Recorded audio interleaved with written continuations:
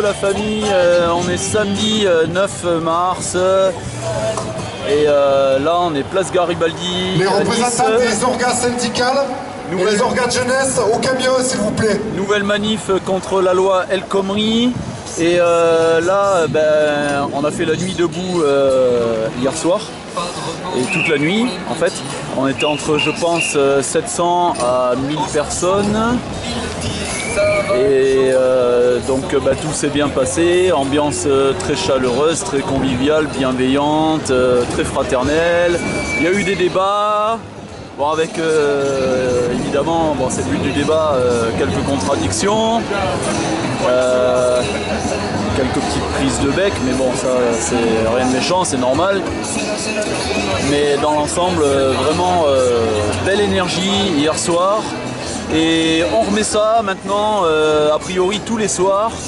Et donc euh, ben, on vous attend nombreux, nombreuses. euh, également à la nuit debout de, ben, de ce soir samedi à partir de 19h cette fois-ci à la place Garibaldi et on commencera l'assemblée populaire c'est-à-dire qu'en fait ben, vous le savez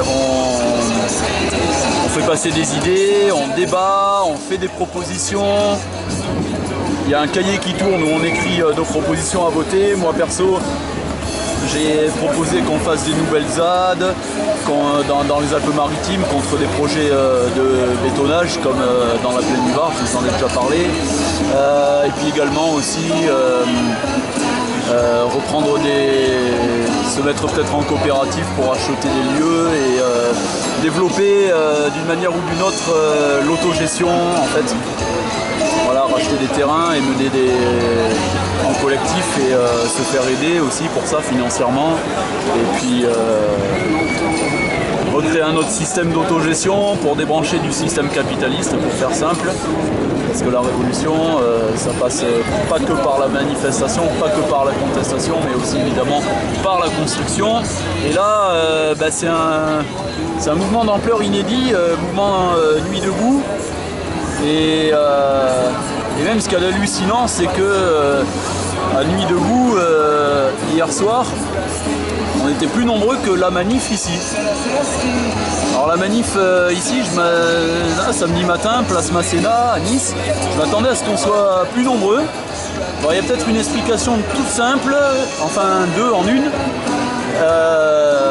C'est samedi matin, donc bah, certains et certaines préfèrent faire la grasse mat, et en plus il pleut. Et quand il pleut sur la côte d'Azur, euh, bah, voilà quoi, c'est. euh, les Azuréens sont pas habitués, mais enfin quand on est des guerriers, des vrais, on manifeste qu'il pleuve, qu'il neige ou qu'il vente. Au moins Donc 30 secondes pour la photo s'il vous plaît. on a fait nuit Voilà, qu'il y a les journalistes qui veulent faire une photo.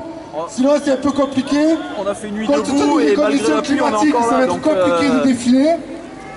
Euh, donc rapprochez-vous au on moins va euh, arriver à 30 défiler. secondes. Qu'il Le pleuve, temps qu'il y ait une photo qu'on puisse aussi un peu se, va. se compter, c'est important. Voilà, merci.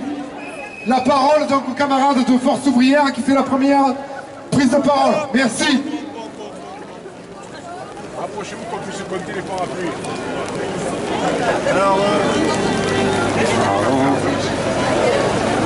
Bonjour à tous.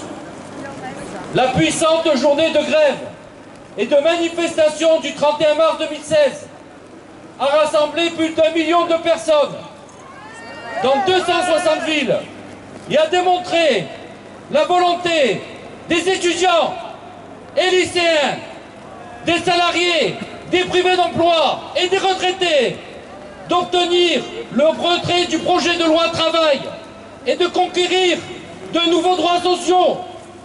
Le texte El Khomri, visant à réformer le code du travail, est une régression sociale que nous ne pouvons pas accepter.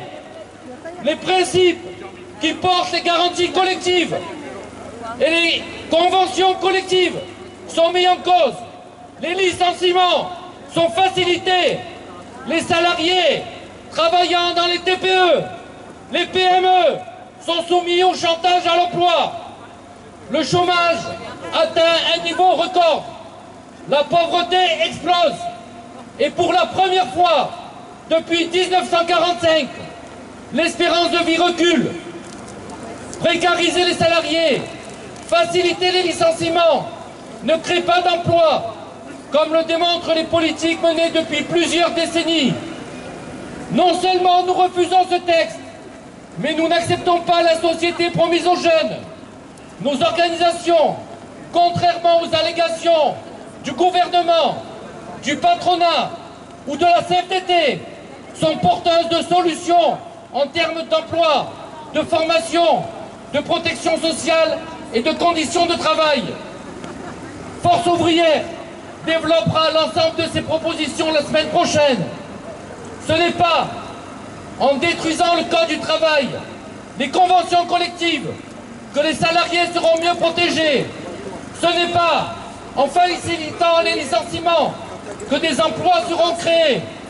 Ce n'est pas en allongeant la durée du travail que le chômage sera réduit.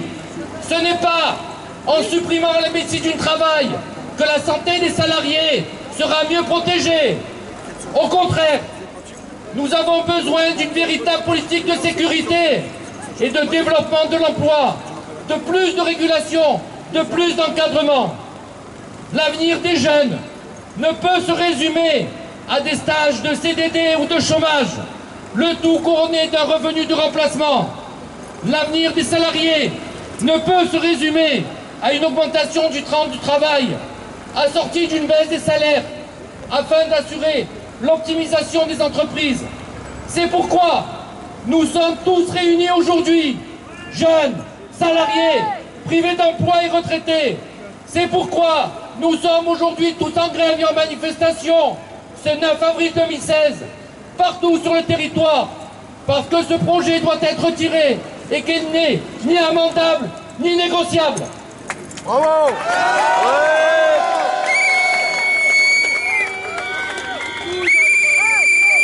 Et ce soir, c'est nuit debout, dites-le Tous ensemble, ouais, ouais, tous ensemble, tous ensemble, ouais, ouais, tous ensemble, tous ensemble, ouais, ouais, résistance. Résistance. Aujourd'hui, on est là, sous la pluie, mais la pluie ne nous arrêtera pas. Aujourd'hui, la météo nationale et la météo du capital, eh bien, ça ne nous arrête pas. Il pleut, mais il souffle Aujourd'hui, on est solidaires, ensemble, réunis, pour lutter pour le retrait, pour demander le retrait de ce texte insupportable. Mais aussi, on a des propositions, des propositions à mettre sur la table. Quand on parle de discuter du temps de travail, eh bien nous, on pense qu'il faut partager le travail. Il faut réfléchir aux 32 heures. Ça doit être une exigence maintenant. Il faut réfléchir à la possibilité de créer de véritables emplois, des emplois utiles socialement, nécessaires absolument pour la transition écologique. Il faut réfléchir au partage des richesses, lutter contre l'érosion fiscale, contre la fiscalité, contre ceux qui, profitent des paradis fiscaux. Des richesses, il y en a, il faut les partager, toutes les richesses, que ce soit celles produites ou celles culturelles. On est là ensemble pour trouver du temps pour vivre. Alors, ensemble, tous ensemble, que ce soit sous la pluie et contre la météo, on se battra pour faire avancer des revendications de progrès. On est en marche ici, ensemble et solidaires. Bravo